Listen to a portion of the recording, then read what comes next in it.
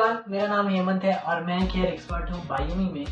आज मैं आपको सिखाने वाला हूँ स्प्लिटेड को कैसे रिमूव करा जाता है, कैसे उन्हें ट्रम करा जाता है। आइए देखते हैं। अब हम सेक्शनिंग के बाद स्प्लिटेड्स को रिमूव करेंगे। वो कैसे करेंगे? हमने सबसे पहले एक सेक्शन लिया जो कि हमने बैक साइड से नेक एरिया से लिया।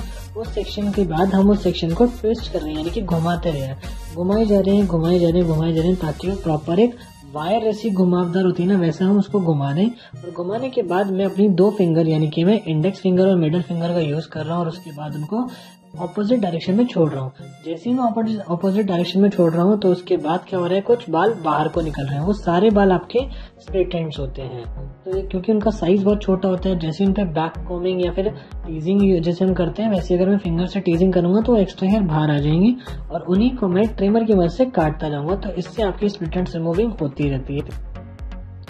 तो जैसा कि आप देख सकते हैं कैसे मैं इन बालों को ट्विस्ट कर करके काटे जा रहा हूँ और ट्विस्ट करने के साथ साथ मैं अपने बेरेट को बहुत ही दूर रख रहा हूँ। यानी कि मैं उसको हेयर कट के पास, यानी कि हेयर के पास नहीं लेके जा रहा हूँ, क्योंकि मैं जो ट्रिमर चला रहा हूँ वो एंड से लेके मिड लेंथ तक चला रहा हूँ। और गलती से मेरा बैरेट अगर लेंथ के बीच में चला गया तो मेरी जो क्लाइंट है, मेरी जो मॉडल है, इनका लेंथ भी कट सकता है। तो मुझे इस चीज़ का ध्यान रखना है। जैसे वो कहा जाता है कि सावधानी हटी दुर्घटना घटी वाला जो कॉन्सेप्ट है तो मुझे इस चीज़ को ध्यान रखना है और मेरे क्लाइंट का जो बाल है, वो मुझे नहीं काटना। मुझे सिर्फ़ एक्स्ट्रा हेयर को काटना है, जैसे कि आप इस वीडियो में देख सकें कि कैसे मैं उनके बालों को काट रहा हूँ उनके और बैरेट की वजह से। और ये थोड़ा जल्दी भी हो रहा है। अगर मैं सीजर के साथ बैठता तो मुझे टाइम लगता बट बैरेट क्या मैं एक बारी में चला रहा हूँ, उससे फ़ायदा यही हो रहा है कि मैं फटाफट उनका ट्रिम करते जा रहा हूँ, यानी कि स्प्लिटेंट्स को रिमूव करते जा रहा हूँ। लेकिन बेस्ट पार्ट ये है कि ये स्प्लिटेंट्स मैं तो ट्रिम कर दूँगा, लेकिन अगर क्लाइंट अपने बालों को अच्छे से केयर करेगा तो ही वो सक्सेसफुल रहेगा। अगर वो प्रोडक्ट सही यूज़ कर पा रहा है तो ही बेटर है। अगर वो प्रोडक्ट यूज़ नहीं करेगा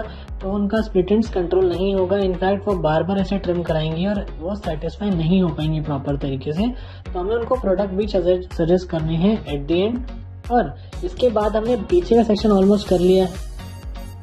तो बैक सेक्शन मेरा हो चुका है, अब मैं फ्रंट सेक्शन में कर रहा हूँ। फ्रंट में मैंने क्या करा है थोड़ा सा डायगनल सेक्शन निकाला है और सेम मैं ट्विस्टिंग वाली टेक्निक को अपना रहा हूँ और ट्विस्ट करके मैं सारी सेक्शन को बैक कॉम कर रहा हूँ, लेकिन फिंगर से बैक कॉम कर रहा हूँ। जैसे हम टीजिंग भी कह सकते हैं तो मैं उन्हीं से टीजिंग कर रहा हूँ, और उसके बाद उसमें से जो एक्स्ट्रा हेयर निकल रहे हैं, जो छोटे छोटे बाल बाहर आ रहे हैं, उनको मैं ट्रिमर के साथ ट्रिम करता जा रहा हूँ। आप लोगों ने भी इस वीडियो में देखा होगा कि मैंने एक बीच में एक लंबा बाल आया था। उस लंबे बाल का अगर मैं काट देता तो इनकी लेयर्स खराब हो जाती तो मुझे उस चीज़ का ध्यान भी रखना है कि गलती से कहीं इनकी लेयर्स ना काट दूँ, क्योंकि फ्रंट में हमें इस चीज़ का ध्यान रखना पड़ेगा।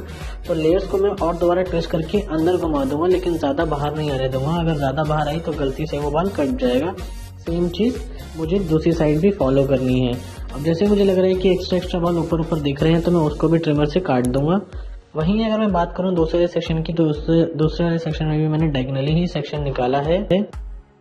और डायगनल सेक्शन निकाल के सेम मैं उसी बालों को, यानी कि छोटे छोटे बालों को काटे जा रहा हूँ ताकि मैं इनकी स्प्लिटेंट्स को रिमूव कर सकूँ। और आप लोगों को एक बात बता दूँ कि मैंने जो ये ट्रिमर यूज़ करा है, ये वॉल का बैरेट है, यानी कि वॉल का बैरेट ट्रिमर है, जो कि ईजिली मेरे साथ इतनी हेल्प कर रहा है। मुझे बहुत ही आसान तरीके से मेरा ये हेयर कट रिमूव कर रहा है, जिसमें मुझे प्रॉब्लम भी नहीं हो रही है।